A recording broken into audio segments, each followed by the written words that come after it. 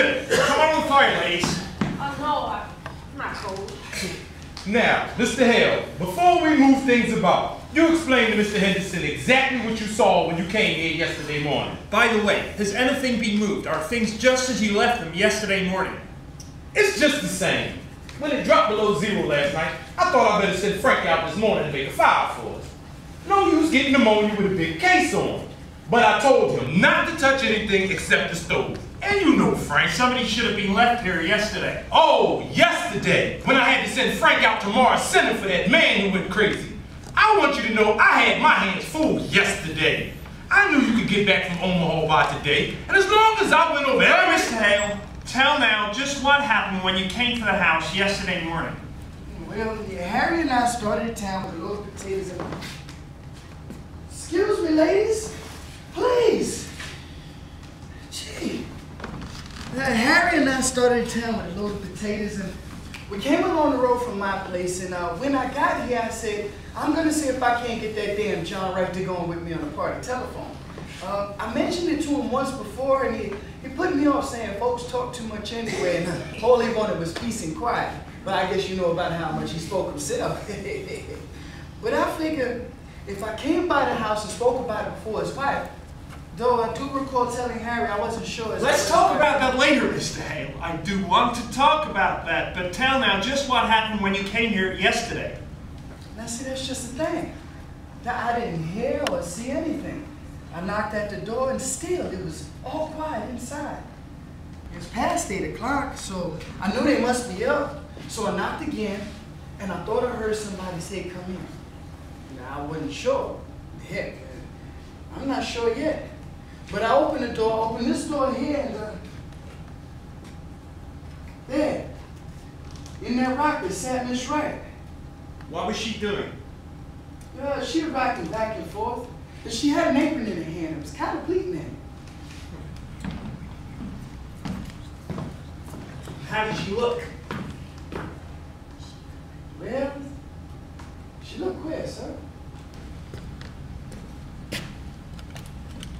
How do you mean queer? As if she didn't know what she was going to do next and kind of done up. And how did she seem to feel about your coming?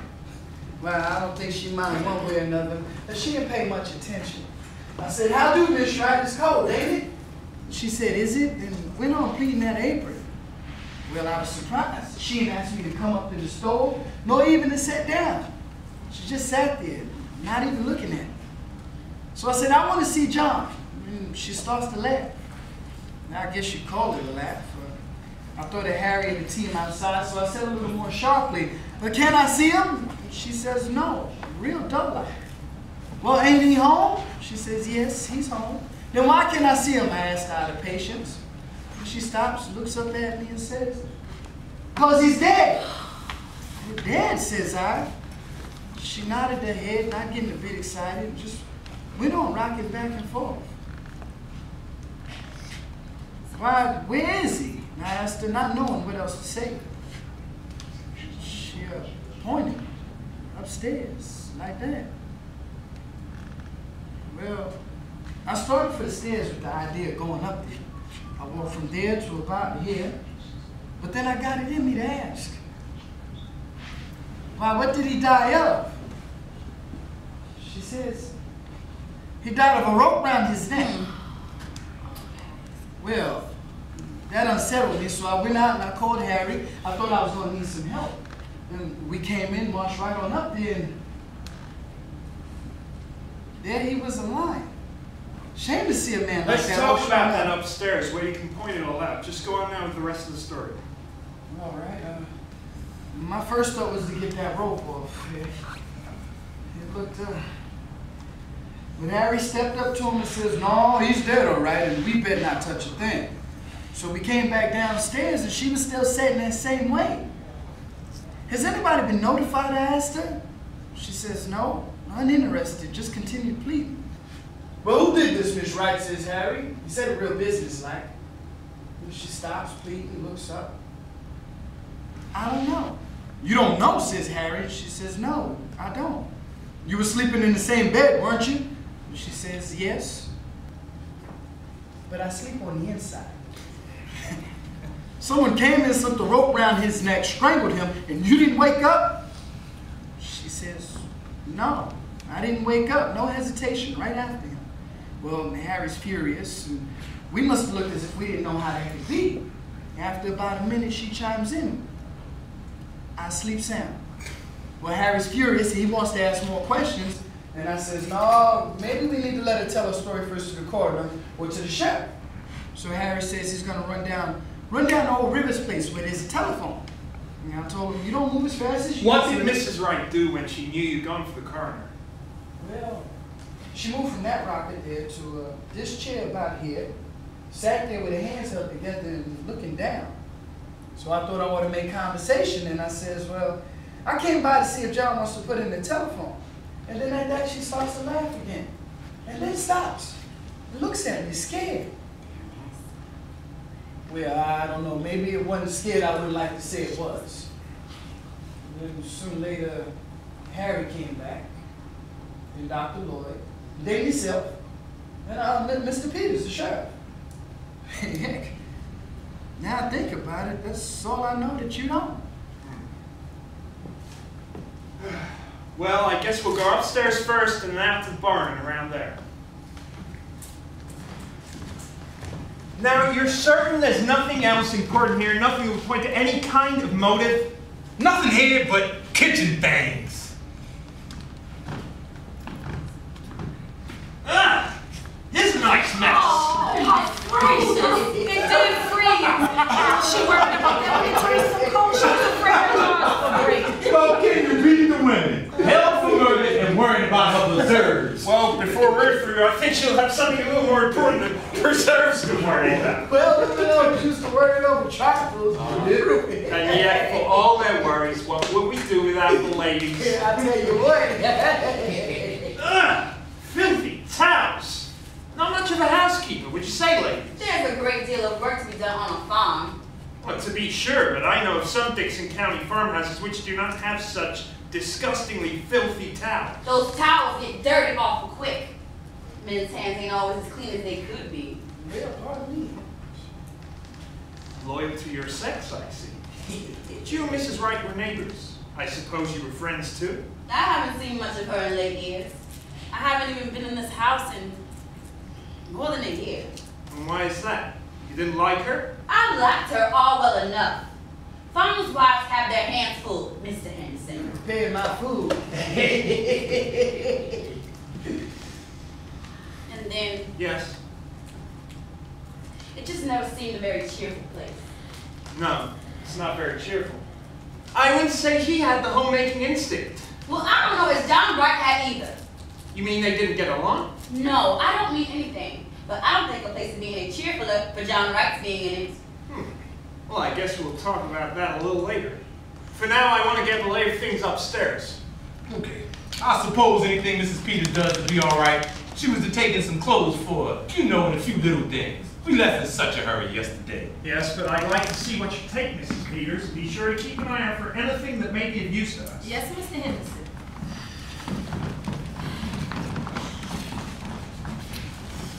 I hate to have men coming into my kitchen, snooping around and criticizing. Of course, it's no more than their duty. Duty's all right, but I guess that deputy sheriff that came out to make that fire could have got a little bit of this on. Wish I thought of that sooner. Seems mean to talk about her for not having things slicked up when she had to come away in such a hurry. She had braids set.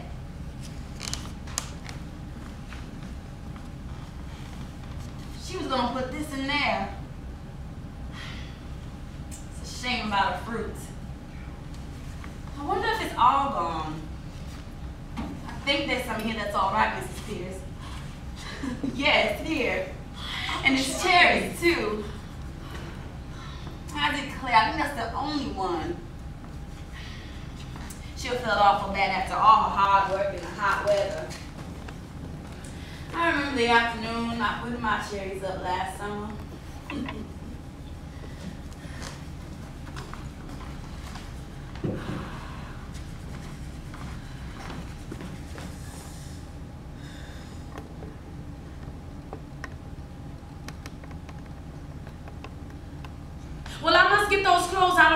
closet. You all coming with me, right, Mrs. Hale? Can help me carry them.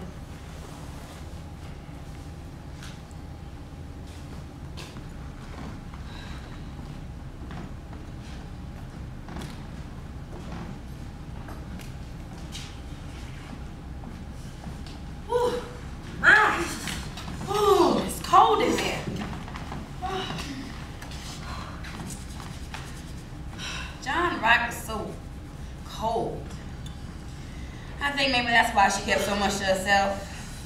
She didn't belong to the ladies' aid. I suppose she felt she couldn't do a part. And you don't enjoy things when you get to feeling shabby.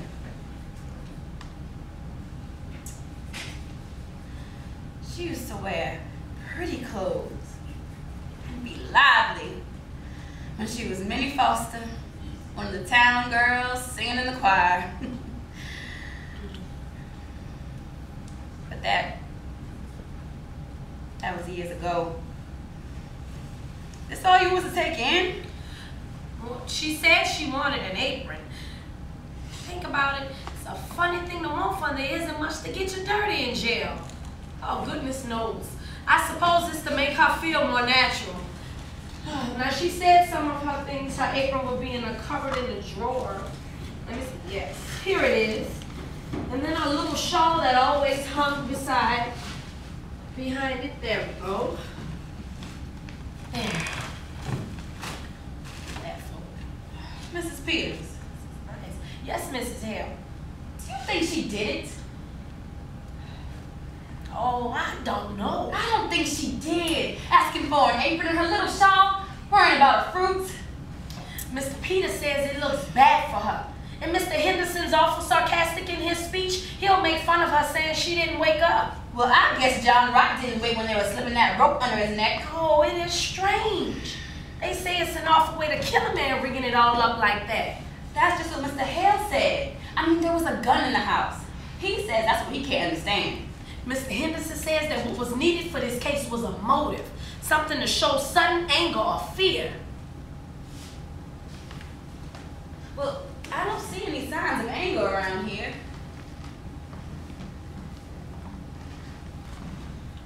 It's white to hear. I wonder how they're finding things upstairs. I hope she had a little bit more red up up there. You know, it seems kind of sneaking.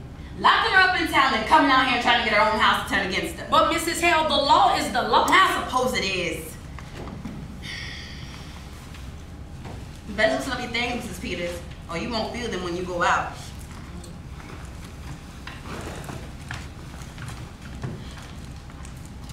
Why, Mrs. Hale, look at here. She was piecing a quilt. Oh, it is oh, beautiful. Look at oh, it. Yes, it's pretty, oh, isn't oh, it? my. I wonder if she was going to quilt it or just nod. I don't know. They were wondering whether she was going to quilt it or just nod. Well, Frank's car didn't do much up there, did it? No, sir. Now let's go out to the barn and get that cleared up. Now we got to go back outside? I'm afraid so. Come on. Oh, Quilt it or just nod. I don't know if it's anything so strange. I'll take enough our time with these here little things. We're waiting on these fools to get the evidence. I don't think it's anything to laugh about. oh, well, of course, they've got a lot of important things on their minds. Mrs. Peters, look at this. This one here. This is the one she was working on. And look at the sewing. Rest of it has been so nice and even, and then look at this. It's all over the place. It looks as if she didn't know what she was about. Mrs. Hale, what are you doing? I'm pulling out a or two that's not so very good. That sewing always made me fidgety. I don't think we ought to touch things. I'm gonna finish up this end.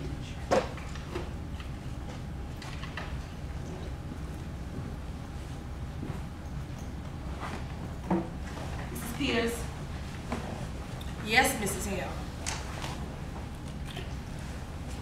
what do you suppose she was so nervous about? Oh, I don't know. So I don't suppose she was nervous at all. I often so awful queer when I'm just tired. Now we better get these things packed up. They may be through sooner than we think. Well, where do you think I could find a paper in a restraint. In that cupboard, maybe.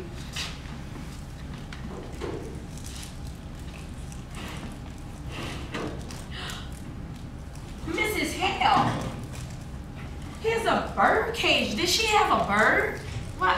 I don't know whether she did or not. I haven't been here in so long. There was a man around selling canaries cheap last year. But I don't know if she took one. Maybe she did. I mean, she used to sing real pretty herself. It seems awful strange to have a bird in a place like this. She must have had one, or why else would the cage be here? Maybe that old cat got it. No, she didn't have a cat. She's got that thing people have about cats being afraid of them. My cat got into her room once. She got real upset, and made me take it out. My sister Bessie was like that. Queer, ain't it? Well, look at Mrs. Hale. Look at this hinge on the door. It's broken. Looks like someone must have been rough with it.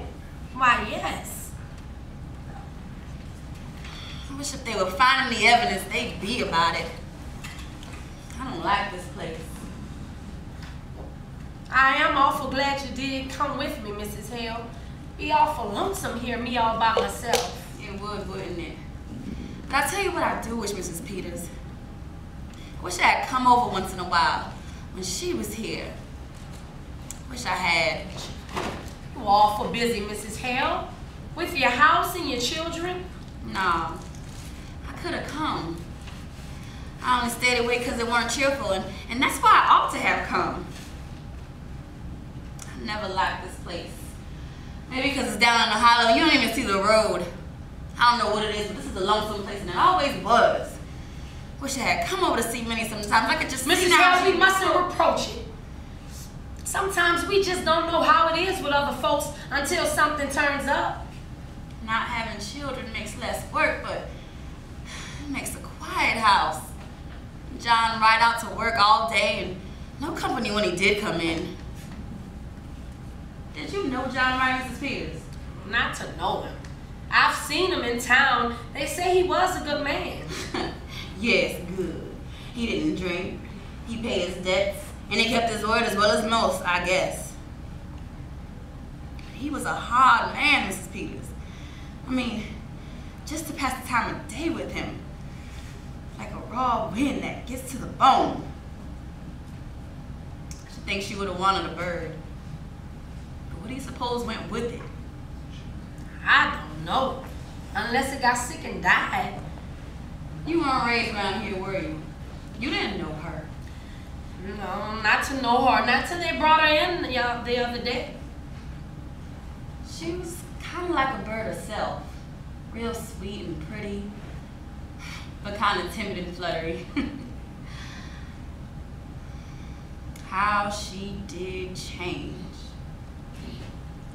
Tell you what, why don't you take the quilt in with you? It might take up her mind a little bit.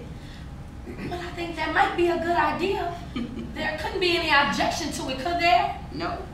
Now, what exactly could I bring? I mean, her patches are here and her things.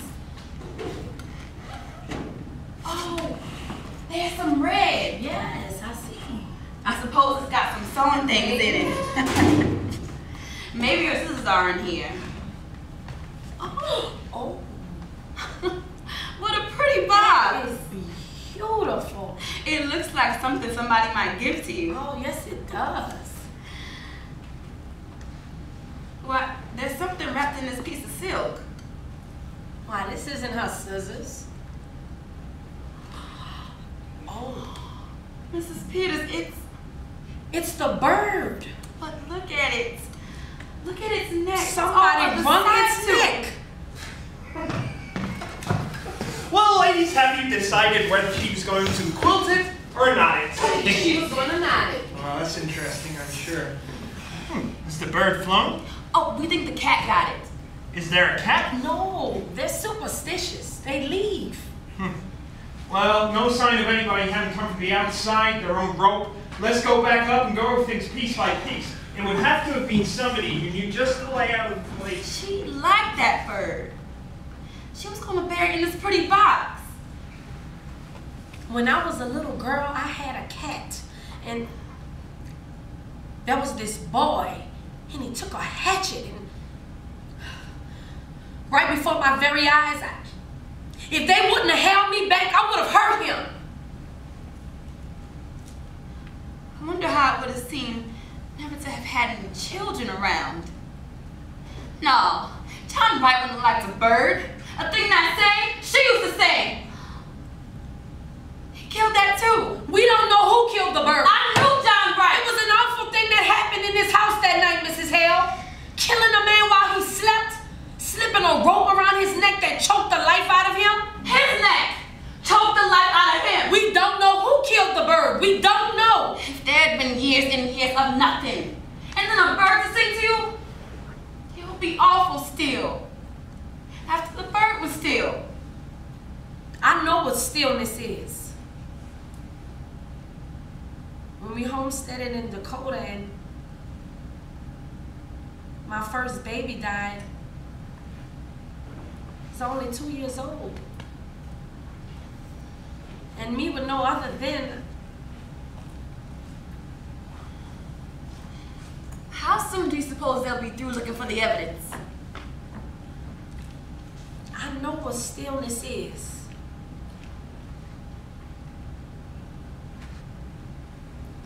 The law has got to punish crime, Mrs. Hale. I wish you would have seen Minnie Foster when she wore a white dress with blue ribbon and stood up there in the choir and sang. I wish I had come over once in a while. That was the crime. That was the crime. Who's gonna punish that? We mustn't take Oh, I on. didn't know she needed help. I know how things could be for women. I tell you, it's queer, Mrs. Peters. We live close together, and then we live far apart. We all go through the same thing. It's just a different kind of the same thing. If I was you, I wouldn't tell her her fruit was gone. Tell her it ain't. Take this in and prove it to her. She may never know whether it was broken or not. Well, if the men can see us now, wouldn't they just laugh? Getting all fluttery over a little thing like a dead canary. As if that had anything to do with, well, with, but wouldn't they just laugh? Maybe they would. Maybe they wouldn't. No, Peters, it's all perfectly clear except for a reason for doing it, but you know, juries when it comes to women. Now, if there was some definite thing, something to show, something to make a story about, a thing that would connect up with this strange way of doing it. Hey, it. I know I got the team all around outside. Uh-huh. It's cold out there. I'm going to stay here a while by myself. I want to go over everything. I'm not satisfied you can't do better. Do you want to see what Miss Peters is going to take in? no. I don't suppose they're very dangerous things the ladies have taken. No, Mrs. Peters doesn't need supervision. For that matter, the sheriff's wife is married to the law. you ever think of it that way, Mrs. Peters? Not just that way. Married to the law. I just want you to come here a minute, George. We ought to take a look at these windows. Oh, windows. So there's windows? We'll be right out, Mr. Hale. Hold your horse. Oh, come on, man.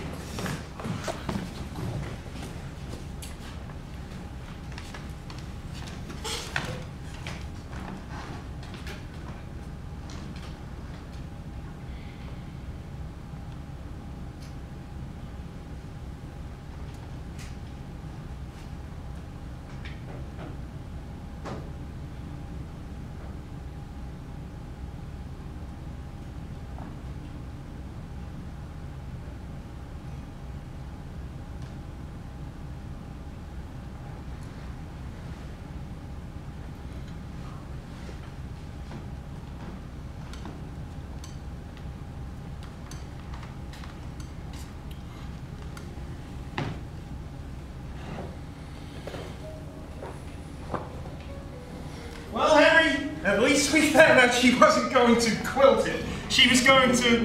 What is it you call it again, ladies? We call it knot in this business. Not.